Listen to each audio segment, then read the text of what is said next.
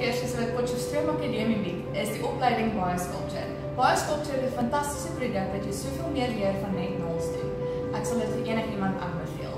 Not only you benefit educationally, but you also get to make friends at this academy. I've enjoyed my time here at the campus and I'm hoping to come back for another course. Vandag het ons hier 'n um, kursus van Baie Sculpture by Potchefstroom Akademie. En ek sal dit vir enigiemand aanbeveel, nie net om jou kennis uit te brei van naaltegnikus nie, maar ook om die maniere te, te doen wat ons nie eers gedink het is moontlik met naals nie. En ek dink dit ons het baie geniet en is 'n baie goeie produk. So kom ek beveel dit aan nie net omdat ons dit geniet nie, maar ook vir jou eie knowledge om dit beter te doen. As 'n gekwalifiseerde uh, baie skulptuur tegnikus kan jy ook inkom vir refresher kursusse elke 6 maande om jou nuwe tegnieke te leer. Kon leer gerus wat Potchefstroom Akademie vir jou kan